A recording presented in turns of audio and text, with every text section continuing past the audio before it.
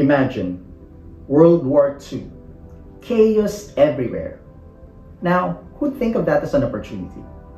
Let me introduce you to John Gokongwei Jr. Born into luxury, his dad owned Cebu's fanciest theaters. He basically grew up with privilege until he turned 13. In 1939, his father passed away, leaving the family in financial ruins. Everything was seized, homes, theaters, in the whole shebang. In one of his stories, he recounted how a former employee let him and his brother inside the theater they used to own, only for the new owner to catch him and kick them out and basically banned them from the place. His mother, once part of high society, ended up cooking peanuts for him to sell through peddling his bicycle. Then he'd end up peddling candles, soaps, and jewelry to neighboring towns and eventually neighboring provinces. But at the brink of World War II, everyone didn't have money. There was no more high society whatsoever. John is quoted to say, War was the great equalizer everyone started from zero, armed only with their wits.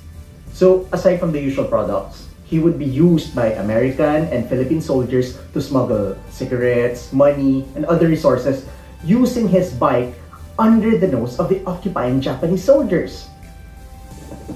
The ploy worked. By the war's end, he'd turned up his tireless peddling into a small fortune. At just 20 years old in 1940, he had 40,000 pesos. That's equivalent to roughly 8 million pesos today, thanks to his smarts and hard work. Out of hard times came Amasia Trading, his first company importing American products. Today, Gokongwei's children and family own one of the biggest conglomerates in the Philippines, JG Summit Holdings Inc.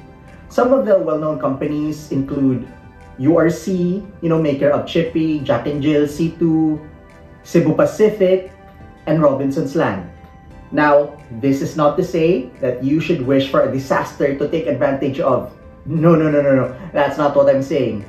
It's just that when life throws challenges, remember John Gokongwei, a man who turned adversity into opportunity. You can find an opportunity anytime. With John Gokongwei, he just dared to be better.